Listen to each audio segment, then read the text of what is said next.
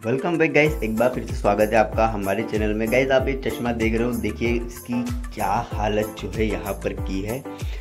या तो कोई इस पर बैठ गया या फिर उस पर किसी ने पैर रख दिया है। तो देखिए कितना बुरा हुआ है इसके साथ, बेचारे के साथ, कितना जुल्म हुआ है। पूरा जो है दब गया है पूरा एक तरीके से। तो हम इसको वापस से प्रॉपर इसके पहले वाले बैलेंस में लाने की कोशिश करेंगे। यहाँ पर मैं बता दूँ, जिसे हम ठीक कर रहे हैं, उसका लेंस जो है एयरवेयर है। अगर आपका एयरवेयर नहीं है तो आप ट्राई ना करें।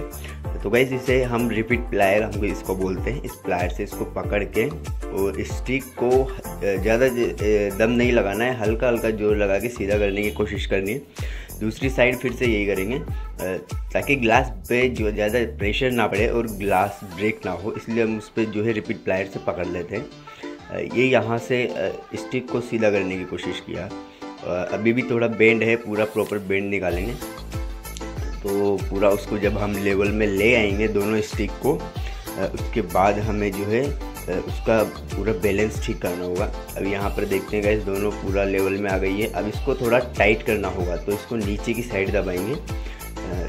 क्योंकि ये फेस पे भी काफ़ी ज़्यादा लूज़ हो गया है दबने की वजह से।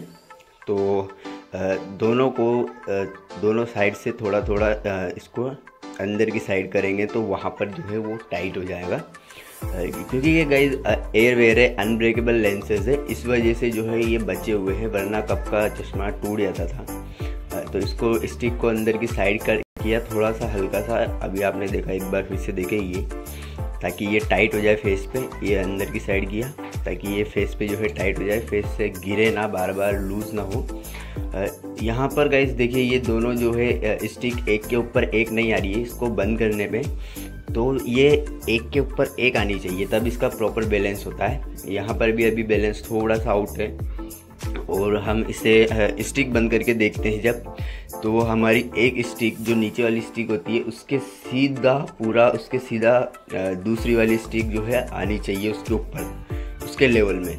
तो वही चीज़ देखिए, यहाँ पर हम ठीक करते हैं। ये थोड़ा सा आउट जा रहा है। अब ये इसको बेंड देते हैं यहाँ से तो ये एकदम इसके ऊपर आएगी बिल्कुल स्टिक दूसरी वाली स्टिक के ऊपर, नीचे वाली स्टिक के ऊपर। तब जाके इसका जो है कहीं प्रॉपर बैलेंस होता है।